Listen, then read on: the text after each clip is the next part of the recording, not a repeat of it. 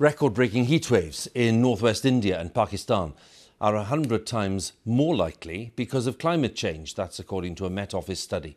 Temperatures once predicted to happen every 300 years could now be experienced three times a decade.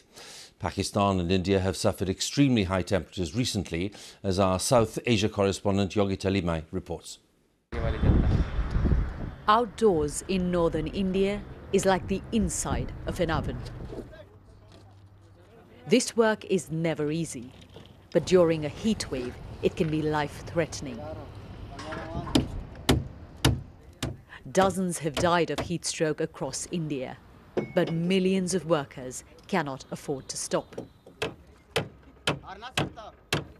Chandan Bhuya has travelled 800 miles from home for this job.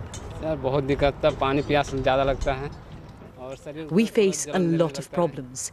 The skin all over our body burns, and sometimes we feel like we might faint, he says. But we have no choice. We have to work to earn. Heat waves are not uncommon in South Asia, but this year they started earlier than usual and have been more harsh and frequent.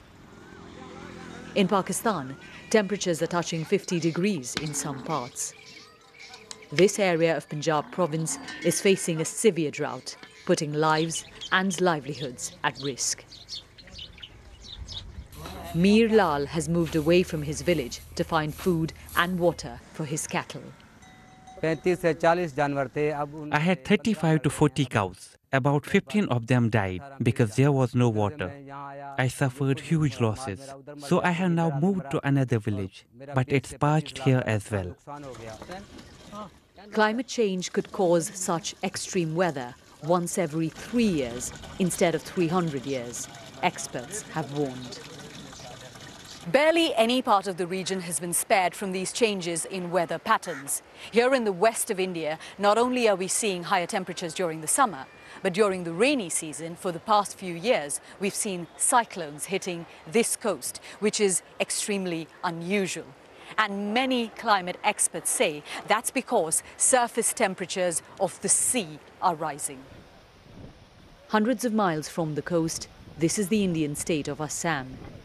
Heavy rains arrived early and with more ferocity than normal. People used to seeing floods each year found themselves unprepared. River waters are expected to rise further. This country has a lot of experience saving people from natural disasters, but it now finds itself battling on too many fronts. Yogita Limaye, BBC News, India.